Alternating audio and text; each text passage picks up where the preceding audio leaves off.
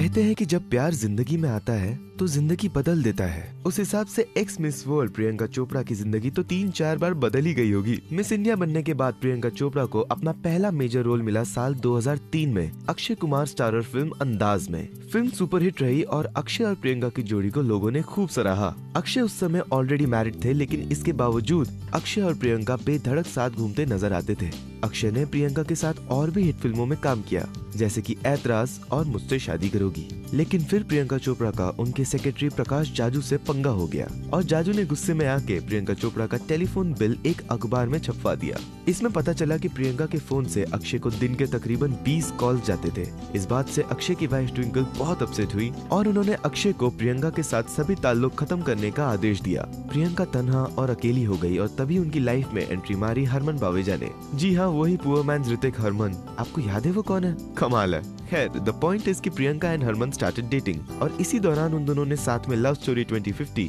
और वॉट्स और राशि जैसी मास्टर पीसेस में काम किया।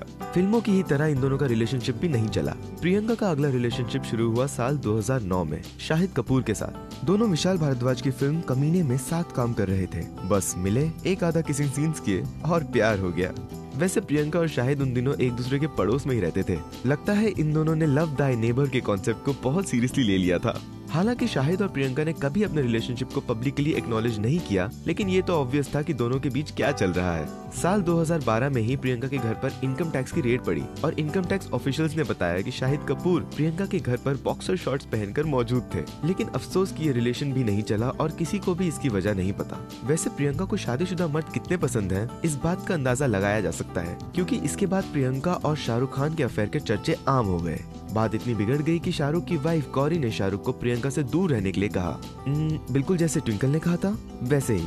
फ़िलहाल प्रियंका सिंगल है और इसीलिए उनके दीवानों की उम्मीदें बनी हुई हैं। उनकी आगे की ज़िंदगी कितनी रंगीन रहती है, ये देखना दिलचस्प होगा। देखते रहिए ये जवानी है दीवानी ओनली ऑन बॉलीवुड मसाला।